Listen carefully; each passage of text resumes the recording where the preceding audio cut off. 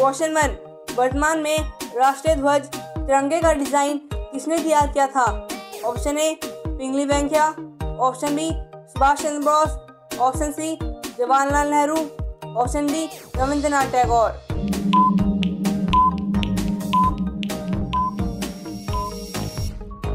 आपका सही जवाब है option A Pingali Venkaiah question two हमारे राष्ट्रीय ध्वज की लंबाई और चौड़ाई का अनुपात कितना है?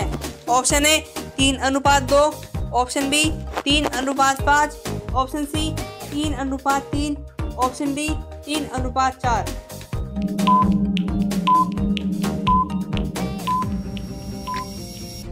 आपका सही जवाब है ऑप्शन ए, तीन अनुपात दो। क्वेश्चन थ्री, भारत का पहला राष्ट्रीय ध्वज कहाँ फहराया गया था?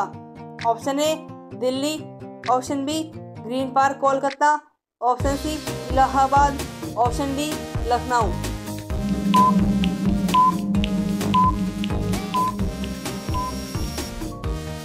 आपका सही जवाब है option B, Green Park, Kolkata. Question four, Bharat का राष्ट्रीय ध्वज तिरंगा कितनी बार बदला गया है? ऑप्शन ए, चार बार। ऑप्शन बी, तीन बार। ऑप्शन सी, पाँच बार। ऑप्शन डी छः बार।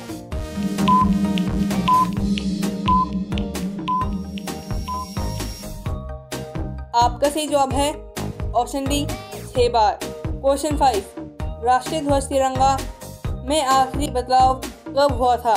ऑप्शन ए 1944 ऑप्शन बी, उन्नीस सौ सैंतालीस। Option C 1946 option D 1930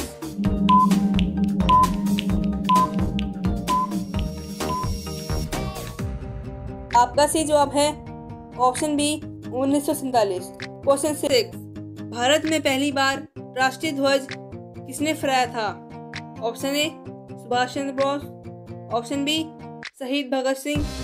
Option C, Chandrashekhar Azad. Option D, Jawaharlal Nehru.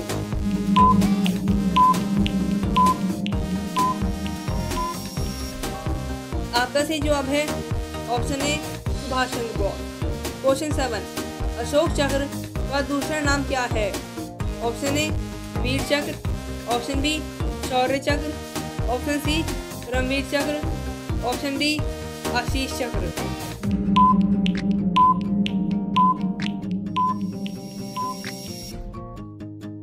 आपका सही जवाब है ऑप्शन बी, शौर्य चक्र। क्वेश्चन ए, हर वर्ष झंडा दिवस कब मनाया जाता है? ऑप्शन ए, दस दिसंबर, ऑप्शन बी, सात दिसंबर, ऑप्शन सी आठ दिसंबर ऑप्शन सी पंद्रह मार्च।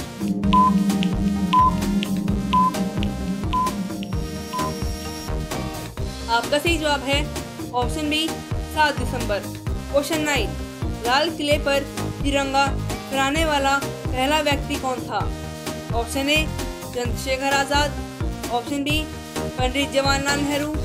Option C Indira Gandhi. Option D Bhagat Singh.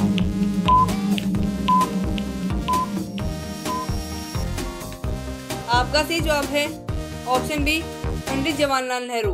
Question ten, अगर कोई व्यक्ति जान पूछकर राष्ट्रीय ध्वज का अपमान करता है तो उसे कितने साल की सजा होती है? ऑप्शन ए, पाँच साल। ऑप्शन बी, आठ साल। ऑप्शन सी छः साल। ऑप्शन डी, तीन साल।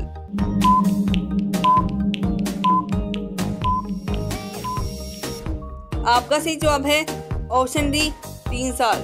तो दोस्तों, आज के लिए बस इतना ही। वीडियो को लाइक कीजिएगा चैनल को सब्सक्राइब कीजिएगा और बेल आइकन प्रेस करना मत भूलेगा जय हिंद, जय भारत।